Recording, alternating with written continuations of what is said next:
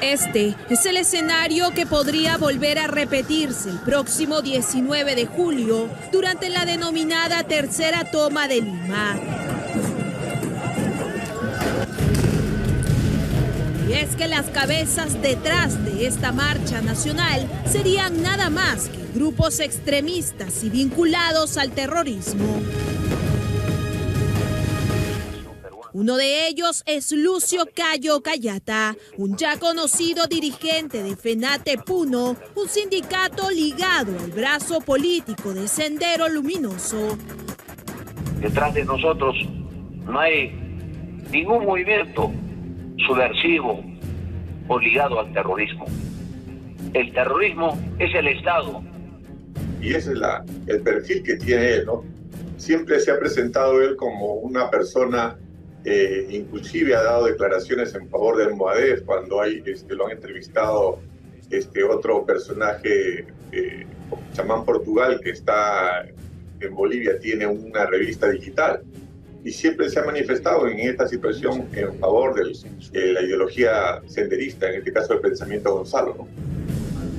Este cuestionado personaje participó también de las anteriores manifestaciones contra el gobierno en la región de Puno, una región donde se desató el vandalismo y la violencia con ataques a activos críticos y hasta la quema de comisarías.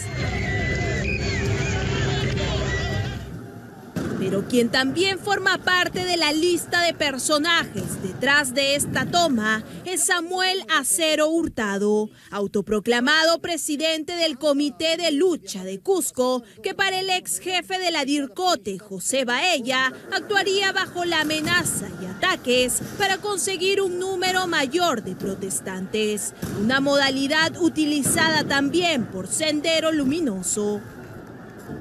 El comité de luchas es una forma de acercamiento que tiene Sendero Luminoso hacia las organizaciones. Ellos, nadie los elige, nadie los elige, ellos eligen solo. Lo que pasó en Ayacucho, por ejemplo, ¿quién eligió a la y Ella se penetró y, logró ser la, cabeza del Frente de Defensa de los intereses de Ayacucho. Ahora este comité de lucha es una forma de, de Sendero Luminoso de realizar actividades y penetrar penetrar en las organizaciones sociales. A esta lista se suma Santos Saavedra, presidente de la Central Única Nacional de Rondas Campesinas del Perú, un sector ampliamente vinculado al golpista Pedro Castillo, quien incluso recibió a este personaje en Palacio de Gobierno en agosto de 2022. Algunos sindicatos como la CGTP también vienen encabezando estas movilizaciones que apuntan a atentar contra la policía. Esa alianza obrera campesina para que realmente podamos derrotar a este gobierno y a esta Policía Nacional que solamente busca el terror y el miedo. Personajes que ya estarían bajo la mirada de las autoridades para prevenir que nuevos ataques o muertes vuelvan a paralizar al país. Hoy se pronunció el premier Alberto Otárola respecto de esta situación. Él ha invocado a las autoridades a aplicar el uso legítimo de la fuerza para brindar seguridad en el desarrollo de esta tercera toma de Lima. Además, ha garantizado el respeto a los derechos humanos. Escuchemos. A solo días de la denominada tercera toma de Lima, el Consejo de Estado, integrado por las más importantes instituciones del país, se reunió en Palacio de Gobierno para tomar acuerdos sobre esta movilización. En ese sentido, el presidente del Consejo de Ministros, Alberto Otárola, exhortó a la ciudadanía a protestar de forma pacífica.